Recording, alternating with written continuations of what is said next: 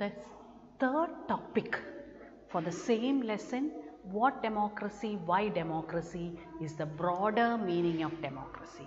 Now in the last topics we just understood what is democracy, why democracy became the most preferred form of government worldwide. Now is it just enough that democracy has certain features and they work there should be a broad we should understand what is democracy actually meant for? Okay now let's see what they are. Now the first one is democracy we learn throughout that involves a large number of people.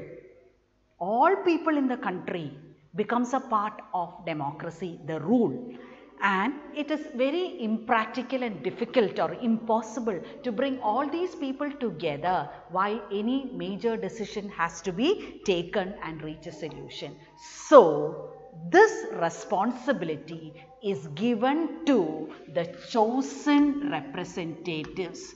So, by elections we choose representatives who will do that work for us since all the all the millions and millions of people of a country cannot come together, get together at the same time and discuss and reach a solution for any problem of theirs, they, that responsibility they gave it to their chosen representatives. They are elected from among them, is it not? So, it is their duty to work on their behalf. It is the duty of the chosen representatives to work on the behalf of the people for their benefits. So, the responsibility lies with the chosen representative. They are the representatives of the people. The rep chosen representatives of the people, people form the form of government democracy. The chosen representatives of the people form the government democracy. So, that kind of democracy can be called as representative democracy. That can be called as representative democracy.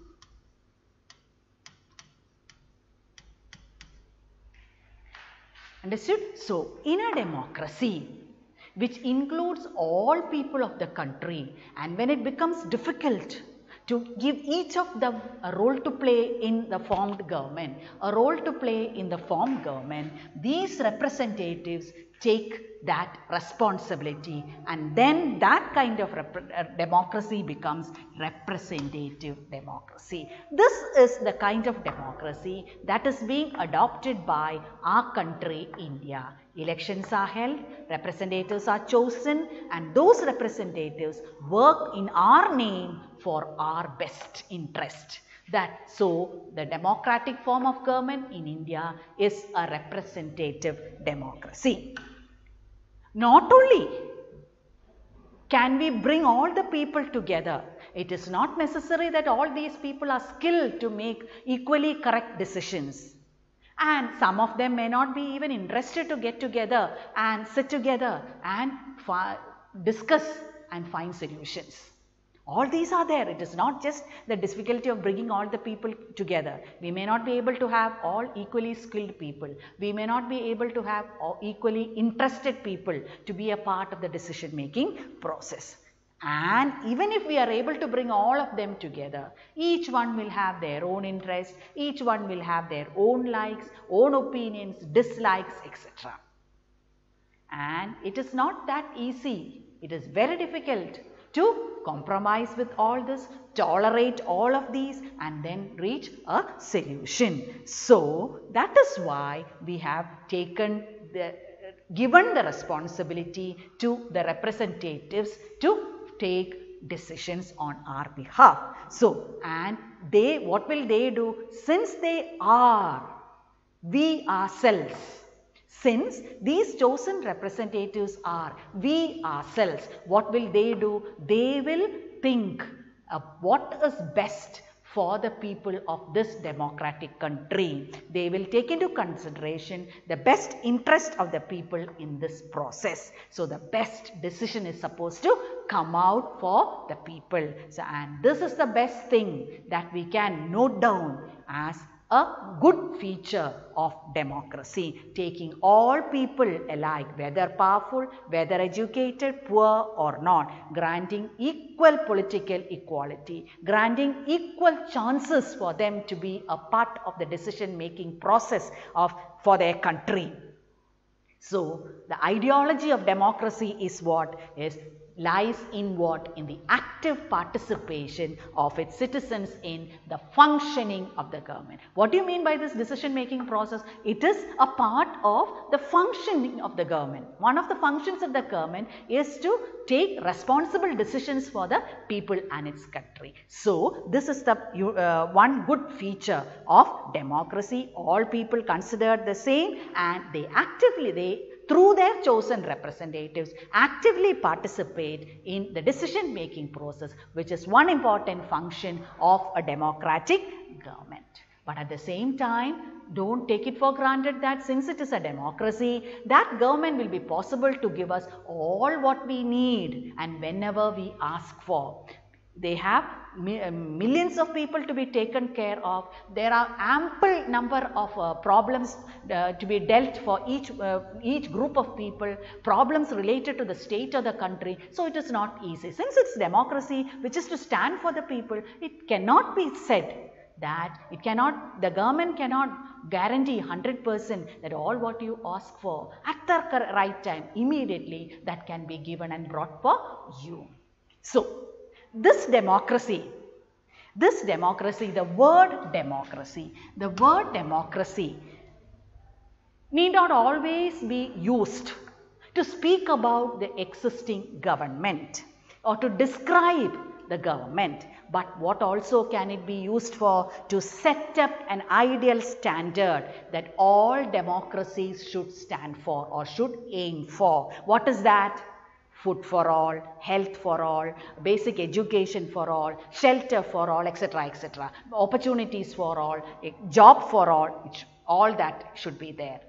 Only when the existing democratic government is able to provide all this for all its people alike, it becomes an ideal democracy. So, it should aim for the welfare of the people and not for themselves. It can be ideal when it responds to the needs of the people, when it ensures what and what? Social, economic and political equality to all and allow existence of an independent judiciary. Why did I say independent judiciary? Because if our fundamental rights are denied to us, where do we go?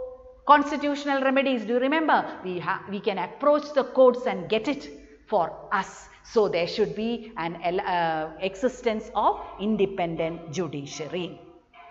So, from all what we have learned so far and just now I said democracy becomes true or becomes an ideal one in when it responds to the needs of all its people alike. What kind of needs? Job, food, shelter, health, education, etc., etc.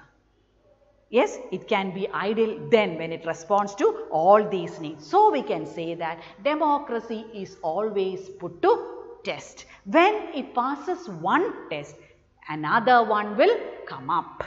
It wins only when it is able to move forward with maximum participation and set up a new goal to achieve. So now I feel I can correctly quote the words of Abraham Lincoln. What did he say? Democracy is a government of the people, by the people and for the people. Am I right? Is it correct what he said? Did he say it correctly? Yes. It is a government formed by the chosen representatives meaning what, meaning what? Of the people. By the people, made by them and it is for them they have made such a form of government. So, Abraham Lincoln said democracy is a government um, uh, of the people, by the people and for the people which means what? People are the most important factor. They are given the most importance and priority in which type of government? In a democracy and serving people should be its motto and then that underlines the unique feature of democracy which makes it totally different from all the other forms of government. which totally makes it different from all the other forms of government. When we discussed about non-democratic forms of government, what was there? Only the ruler was in picture he ruled according to his liking. But when we discussed the different features about democracy, we, we understood that people becomes an important part of this form of government, is it not? So, serving people should be its motto and that underlines the unique feature of democracy. So, that is all what is there in this lesson. Is it clear to you? Any doubts regarding any doubts regarding any topic of the lesson?